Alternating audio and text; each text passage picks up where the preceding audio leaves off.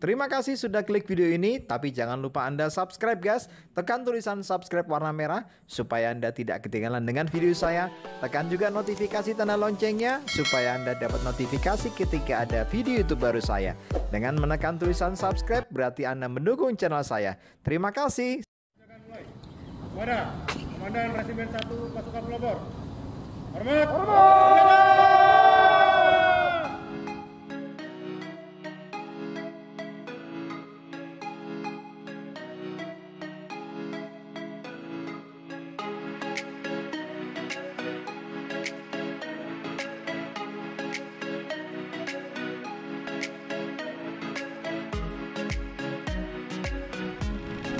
Buat mundur mendekati ke spanduk. Karena ini jaraknya terlalu besar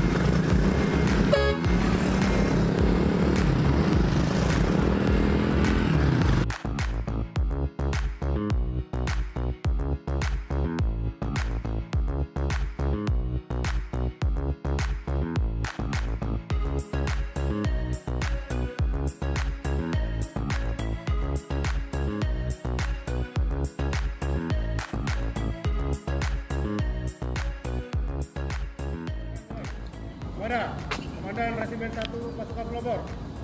Hormat. Hormat. Hormat.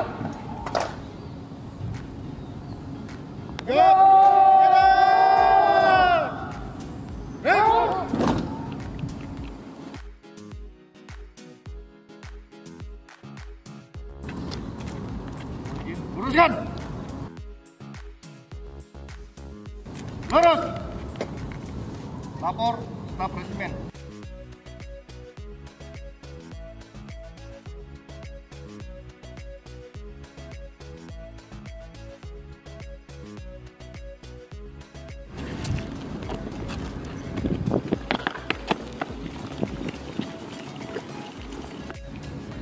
Mengawali tugas pagi ini, berdoa mulai.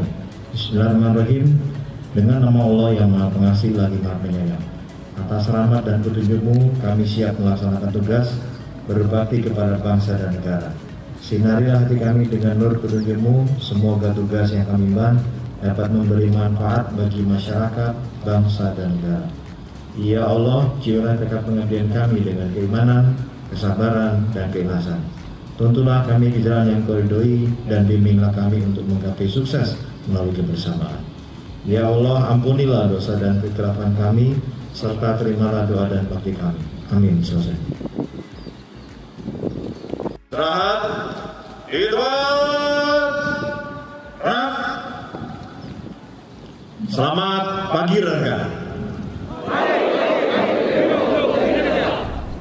Bismillahirrahmanirrahim. Assalamualaikum warahmatullahi wabarakatuh. Shalom, salam sejahtera, Om Swastiastu, Namo Buddhaya, salam kebajikan.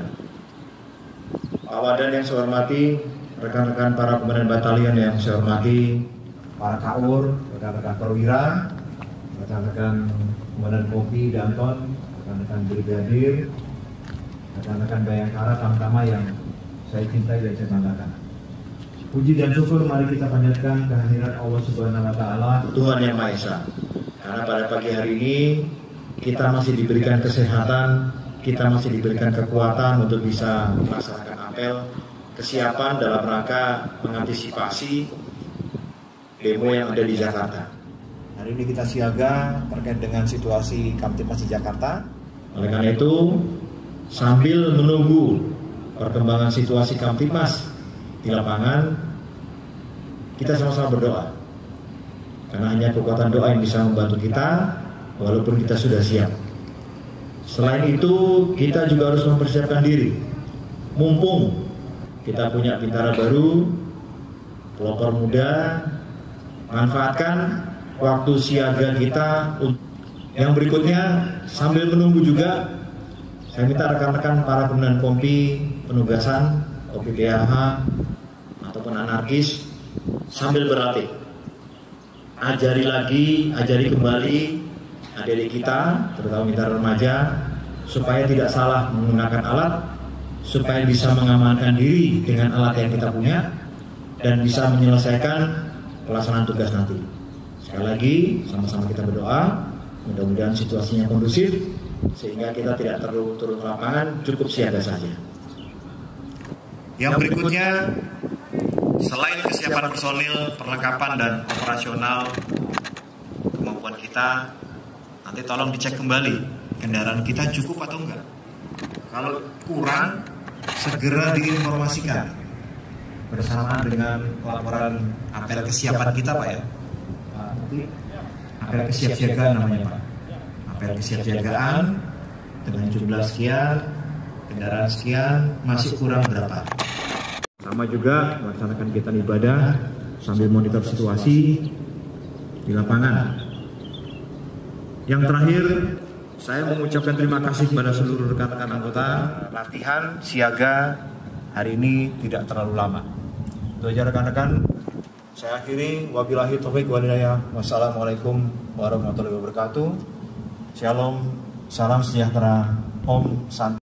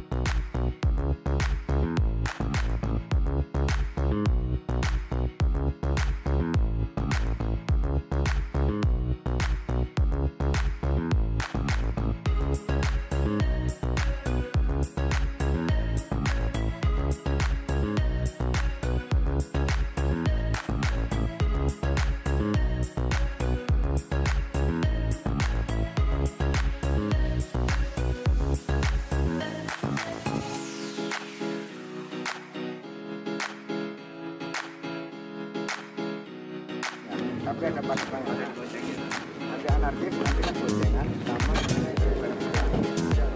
tidak apa pun